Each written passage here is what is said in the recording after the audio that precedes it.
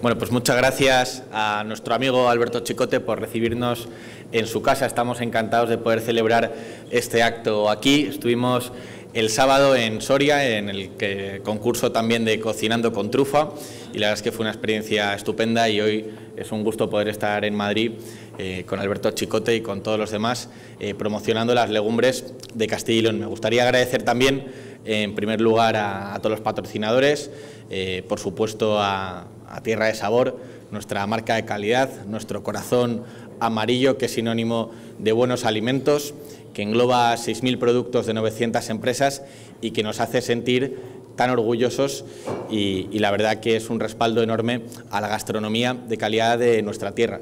Ahora, tal y como están las cosas, es un buen recordatorio decir que no existiría Tierra de Sabor si no tuviéramos unos grandes agricultores y ganaderos en nuestra tierra, que son el alma de Tierra Sabor y quienes la han sentido, quienes crean Tierra de Sabor desde abajo. Así que mi más sincero reconocimiento para ellos y para su tarea diaria y, nuestro apoyo a sus reivindicaciones justas.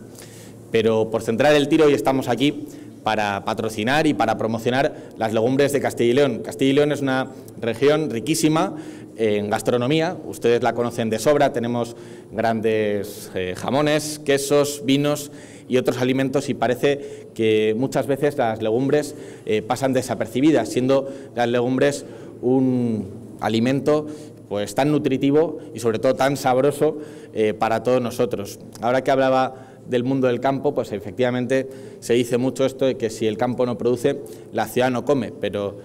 yo me gustaría ir más allá sin unas legumbres como las de Castilla y León, sin nuestros vinos, sin nuestros quesos, no solo no comeríamos, sino que la vida sería mucho más triste y el mundo sería un lugar mucho más desagradable. Entonces, eh, yo la verdad es que me gustaría transmitir ese entusiasmo por las legumbres de Castilla y León, eh, por este plato, por este alimento tan sabroso que nos hace disfrutar de la vida.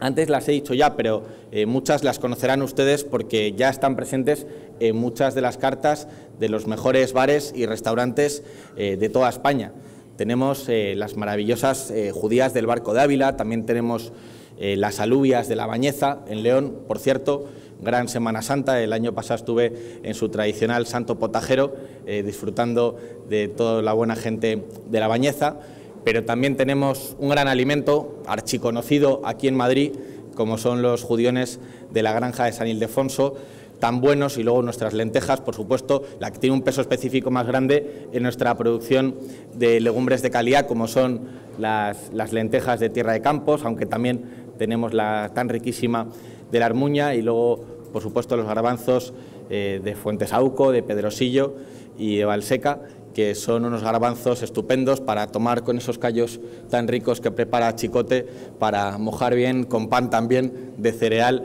de tierra de campos. Me gustaría simplemente destacar que las legumbres eh, en Castilla y León tienen un peso específico muy grande, se cultivan unas 170.000 hectáreas de legumbres en general, el 40% de todas las legumbres que se producen en toda España y si hablamos ya de lo que son las legumbres de calidad, las que he hecho referencia, por IGP o por marca de garantía, eh, suponen la práctica totalidad de las legumbres que se producen en toda España. Y esto no es casualidad, no es que nos hayamos esforzado más en que estas legumbres obtengan un gran reconocimiento, sino que es que tenemos unas condiciones climatológicas, unos suelos, una orografía, una biodiversidad que hacen que si uno quiere comer legumbres buenas, legumbres de calidad, tenga que venir a Castilla y León a comprarlas.